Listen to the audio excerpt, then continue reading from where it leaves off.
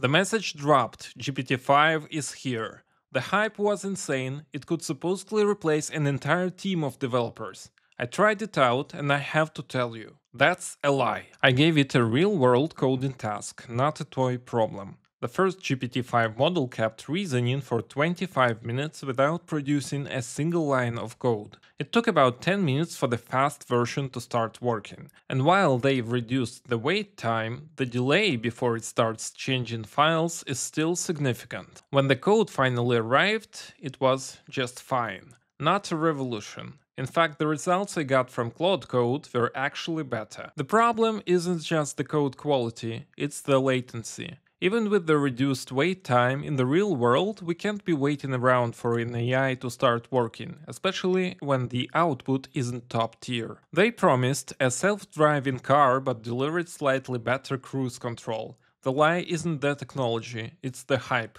GPT-5 is not a coding revolution, it's an incremental update. Your expertise is more valuable than ever. For now, your job is safe.